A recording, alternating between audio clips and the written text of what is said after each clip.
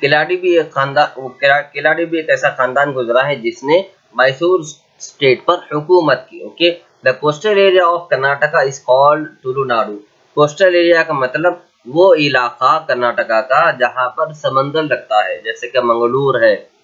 इस इस तरह के सारे इलाके जिसमें समंदरी किनारे लगते हैं, उसे कोस्टल एरिया कोस्टल एरिया कहते हैं, ठीक है? वो सारे इलाके जिसमें समंदर लगता है। Alupa dynasty ruled over Tulunadu and that includes the present Udupi and Dakshina Kannada districts Udupi में जो है आपको समंदर लगता है, दक्षिण कन्नड़ा डिस्ट्रिक्ट में आपको समंदर लगता है और मैंगलूर डिस्ट्रिक्ट में समंदर लगता है। इस डिस्ट्रिक्ट में इस डिस्ट्रिक्ट में जो है कौन हुकूमत करते थे? अलूपा खानदान के बादशाह। Okay Alupa A L U P Alupa खानदान के बादशाह इस एरिया में हुकूमत करते थे, जहाँ पर कोस्टल एरिया है कर्नाटका जिसे तुलुनाडु कहते हैं। ये याद रखो बच्चों what is the name given to the coastal area of Karnataka अगर क्वेश्चन आया तो you will you have to write the answer Tulunadu okay who was the rulers ruling in Tulunadu बोल के अगर क्वेश्चन है तो आपको आंसर देना है Alupa dynasty rulers okay that includes present, Udupi and Dakshina Kannada districts, from 7th century to 14th century. Udayara, Banavasi, Huncha and Mangalapura were the capitals of Alupas at different times. ये अलूपा खानदान ने जो Tulunadu space पर हुकूमत की इन्होंने अपने capital cities बदलते गए। ठीक है? अपने ऑफिसर्स को बदलते गए। पहले इनका ऑफ़िस उदया उदयावारा में था। उसके बाद उन्होंने अपना ऑफ़िस शिफ्ट किया अपना ऑफ़िस ट्रांसफ़र किया बनावासी को। फिर वहाँ से अपना ऑफ़िस निकाल कर शिफ्ट किया हुंचा को हुंचा में और वहाँ से उन्होंने, उन्होंने अपना ऑफ़िस निकाल कर मंगलापुरा में रखा। तो इस तरह से अलापा अलूपा डायनेस्टी के खानदानों के बादशाह ने अपने अपने मर्ज़ी के मुताबिक अपने अपने कैपिटल्स को बदलते गए। Okay many Palegars ruled Tulunadu Puttiges Chowtas and Bangavadis Bangaru and Karkalas Bairavaru and Kasaragodas Kumbale kings are well known okay Alupa dynasty के साथ साथ पालेगार्स खानदान के बहुत से बादशाहों ने भी इस इलाके में हुकूमत की है। देखो, ये इंडिया की जो हिस्ट्री है, आज की कल की नहीं है। बहुत पुरानी हिस्ट्री है। कम से कम दो हज़ार, तीन हज़ार साल पुरानी हिस्ट्री है। इस हिस्ट्री में बहुत से बादशाह आते गए जाते गए बहुत से खानदान आते गए बादशाह हुकूमत करते गए जाते गए।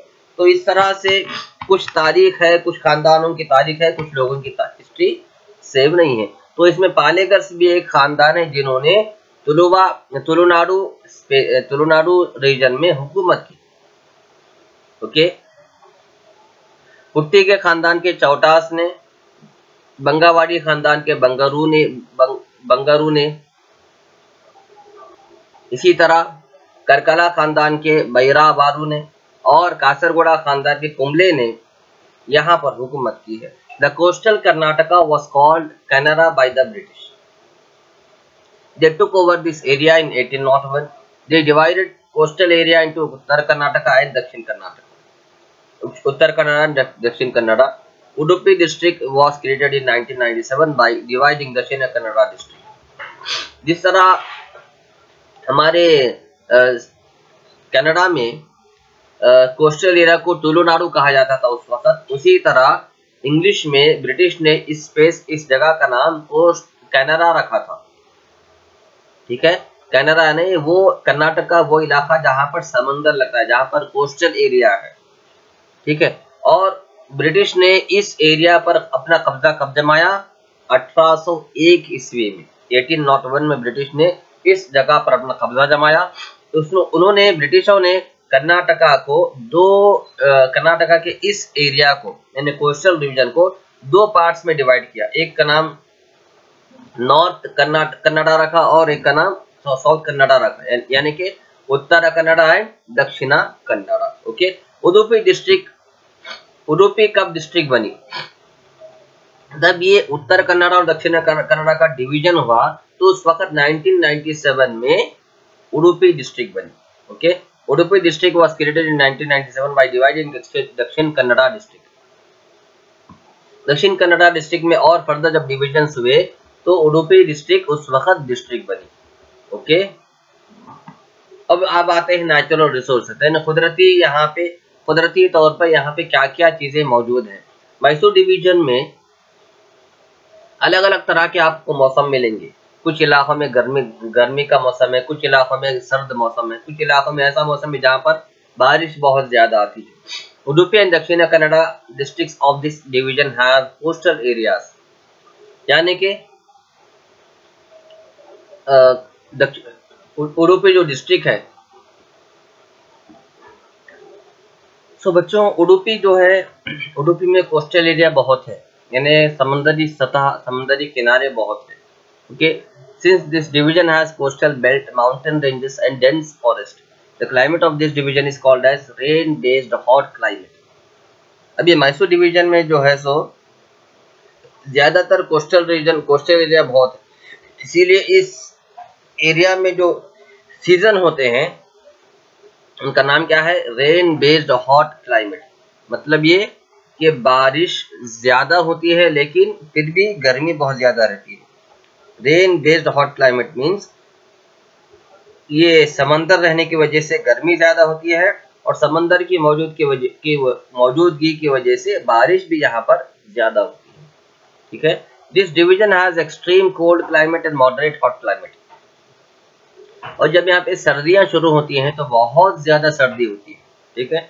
सर्दी का मौसम जब यहाँ पर आता है तो बहुत ज़्यादा जाड़ा बहुत हद से ज़्यादा जाड़ा और सर्दी होती है। और जब गर्मा आता है तो बस गर्मी उतनी ज़्यादा भी नहीं, उतनी कम भी नहीं, बस मीडियम लेवल पे गर्मी होती है। The district of Mysore and Mandya have dry climate okay the Udupi district of this division receive highest rainfall whereas the Mandia district received the lowest rainfall. इस मैसूर डिवीज़न में जो उडुपी डिस्ट्रिक्ट है, जो इसमें कोस्टल एरिया वहाँ पर बहुत ज़्यादा बारिश होती है और इसमें जो मंडिया डिस्ट्रिक्ट है मंडिया डिस्ट्रिक्ट वहाँ पर गर्मी बहुत ज़्यादा रहती है। यानी it is the climate in the Mandya district is very hot with less rainfall यानी यहाँ पे बारिश बहुत कम होती है, लेकिन गर्मी बहुत ज़्यादा रहती है। Since the division has varied climatic conditions mountain ranges and forest varieties of crops are grown here अब चूँकि इस मैसूर डिवीज़न में अलग अलग मुकाम पर अलग अलग मौसम है कहीं कहीं बहुत ज़्यादा सर्द है कहीं बहुत ज़्यादा गर्म है, कहीं बहुत ज़्यादा बारिश है, इस वजह से इस डिवीज़न में अलग अलग चीज़ों की खेती भी होती है। जैसा कि रागी रागी है और पैडी है, मकई और ग्रीन ग्राम है और हॉर्स ग्राम है और मेज है और इस तरह के अदर क्रॉप्स यहाँ पे उगाए जाते हैं। इससे इसके साथ साथ गन्ने की खेती बहुत ज़्यादा होती है और कॉफ़ी यहाँ पे बहुत ज़्यादा पिकती है और तंबाकू टोबैको और आरी का नट और cardamom on orange and cashew nuts and others are major commercial crops इसमें बहुत ज़्यादा बिज़नेस अगर किसी चीज़ का होता है तो वो कॉफ़ी है। कॉफ़ी का बिज़नेस बहुत ज़्यादा होता है क्योंकि कॉफ़ी की खेती बहुत होती है। उसके अलावा गन्ना बहुत पीकता है। उसके अलावा तंबाकू इसके अलावा तंबाकू बहुत यहाँ पे आ, खेती में उगता है। उस, उसके साथ साथ ऑरेंज मौसम्बी मौसम्बी के खेत बहुत ज़्यादा आपको मिलेंगे। कैशू नट्स यानी कैशू नट्स यानी काजू। काजू, इस तरह ये ये चीज़ें क्या है? बहुत बड़े बड़े बिज़नेस की चीज़ें हैं बिज़नेस की चीज़ें, यानी जिस चीज़ों का बहुत ज़्यादा बिज़नेस यहाँ पर होता है। कहाँ पर? मैसूर डिवीज़न में। The first coffee in India was cultivated in Chikkamagaluru district India में सबसे पहले कॉफ़ी की खेती कॉफ़ी के झाड़ कहाँ पे उगाए गए? चिक्कमंगलुरु चिक्कमंगलुरु डिस्ट्रिक्ट में betel leaves are grown in many parts of this division this division is rich with natural resources there are many types of forest in kodagu dakshina kannada mysuru and chikkamangaluru district teak sandalwood होंगे नंदी माटी and other trees are available here इस district में कुदरती चीज़ें बहुत ज़्यादा तादाद में आपको मिलेंगी बहुत ज़्यादा और यहाँ पे इस डिस्ट्रिक्ट के कोडागू में, दक्षिण कन्नड़ा में, मैसूर में, चिकमंगलूर में बहुत बड़े बड़े आपको जंगलात भी मिलेंगे। बहुत बड़े बड़े और बहुत ज़्यादा फैले हुए जंगल, बहुत घने जंगल आपको मिलेंगे, ओके?